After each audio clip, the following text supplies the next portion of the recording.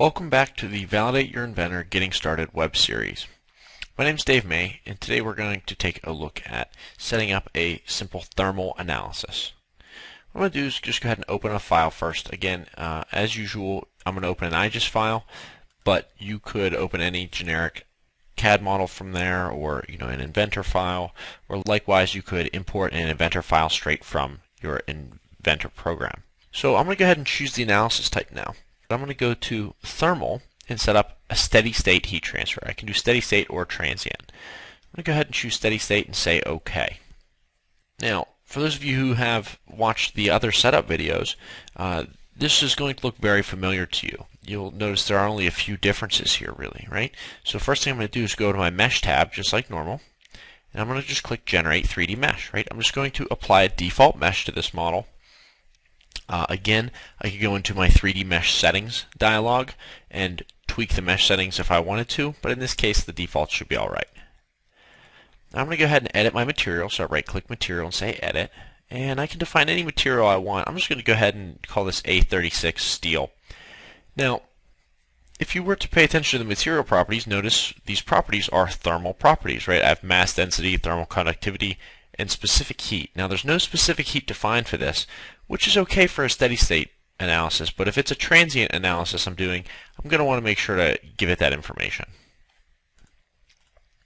Alright, now in the other analysis types, we would mesh the model and then jump over to setup and we'd add some loads and boundary conditions.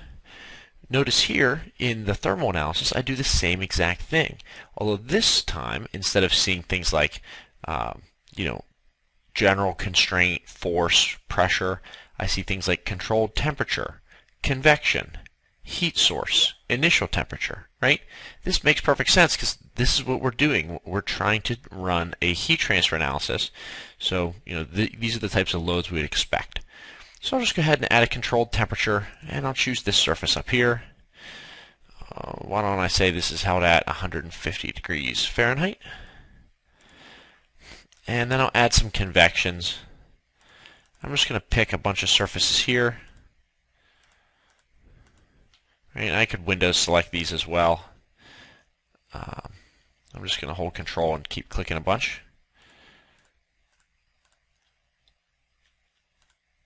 There we go. So I have all my primary surfaces selected. I'll go ahead and hit Enter.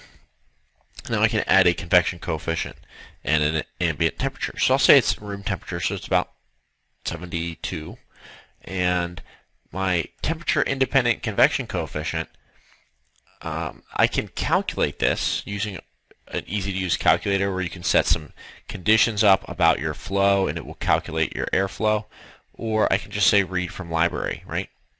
likewise, you could just type your number in if you know it. Um, in general, I do a lot of you know ambient air convection and this top value here is air at room temperature, right? So I just say okay it inserts the value for me, and away I go. All right. Again, there are a lot of different load options you have available to you. There's some, a few more down here below, actually. Uh, or you can go into your parameters, your model setup, you know, and give the entire model a certain temperature or something like that. Okay. Now, once you have these simple load and, and uh, boundary options set, all we have to do is go to Analysis and say Run Simulation.